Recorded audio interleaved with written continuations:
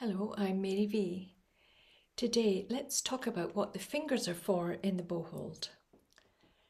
So let's take the, the fourth finger first, and it really should be on top of the bow because that helps to balance the bow. Now, if you take your fourth finger off, you can see immediately what it's actually for. Um, it's really to hold the bow up. But there are plenty of pieces where you might uh, feel on certain notes or in all of it that you want to have the freedom to not have to use your pinky. Uh, it can make your hand feel very, very free.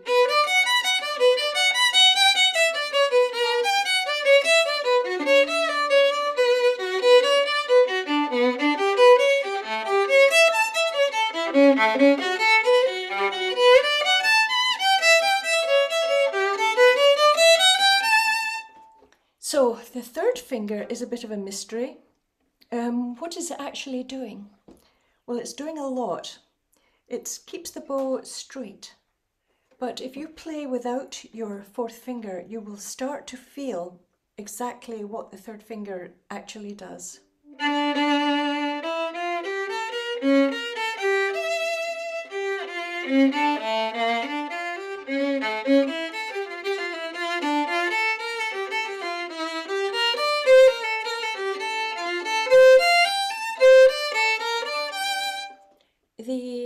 placement of the thumb, a lot of people say that the thumb and the third finger should make a circle.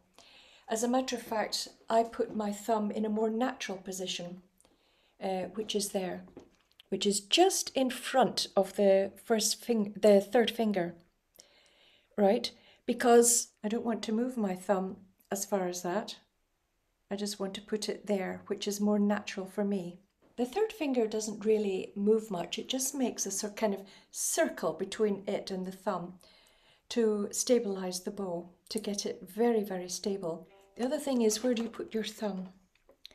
Uh, a lot of people put it in the space between the frog and the wrapping, um, and they place it there. But I've been moving my thumb onto the wrapping more, right?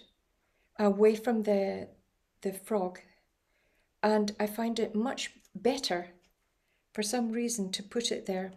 So let's go to the first finger. It really adds a lot of weight and strength to the bow arm, but also dexterity. And you'll see a lot of violinists straightening out the first finger as they're pressing down uh, with their first finger to get accuracy and power.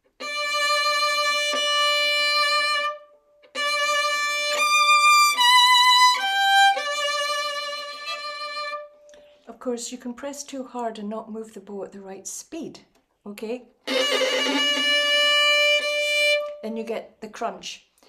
So it's all a case of balancing it out, practicing, and getting the, the speed of the bow correctly when you're playing louder.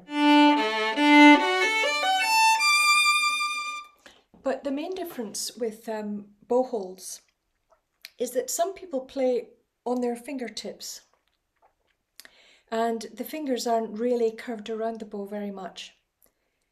And it's a little bit harder to get a lot of weight and heaviness um, and big sound when your fingers are like that with quite a high wrist, right?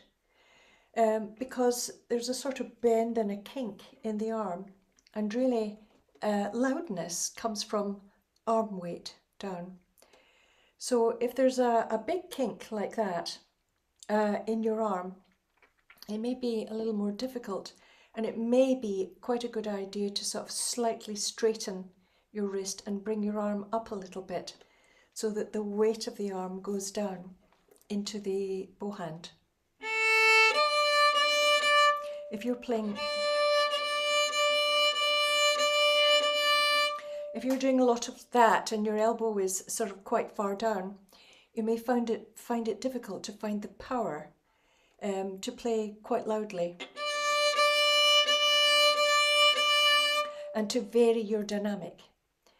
Because the arm delivers, the weight of the arm delivers down into the bow hand. And you'll see a lot of players sort of flattening a lot to get that weight and power into their bow arm.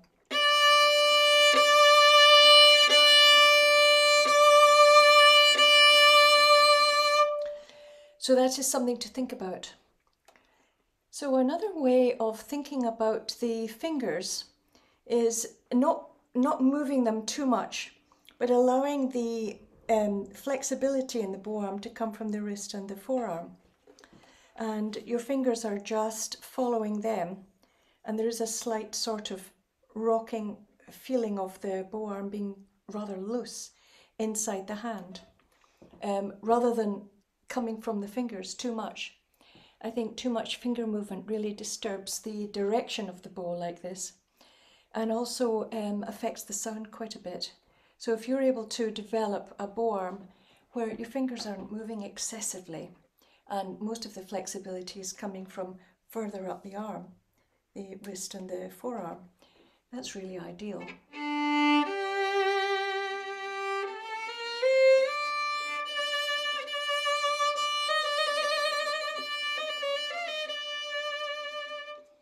So one of the best ways to find out what each individual finger is for and what it's doing in your hand is to lift that finger up, play without it, and then when you put it back, it tells you exactly um, what's going on in your bow hold and what each finger's function is.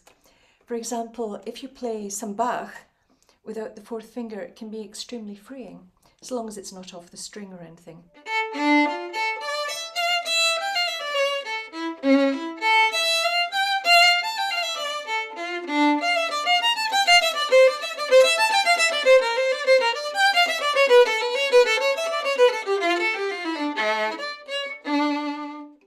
See uh, Isaac Perlman playing without the last two fingers, without the third and the fourth, and he plays with just the first three.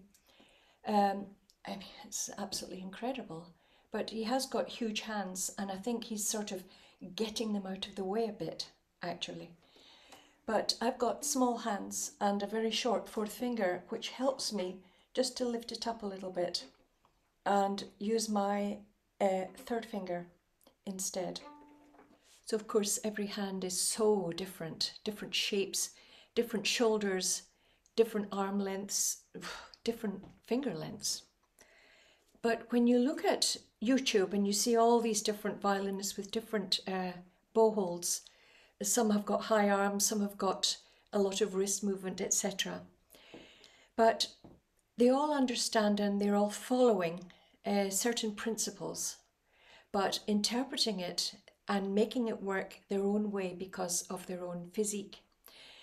So take a leaf out of their book and have a look at your own hand and your own fingers and discover for yourself what each finger is actually doing. And you may discover ways to unlock the potential uh, sounds and to vary your tone between very quiet and very loud which adds so much pleasure to your playing uh, and variety and expression. So um, I hope you enjoy having a look at your bowhold and in the meantime I'll say bye-bye. Bye.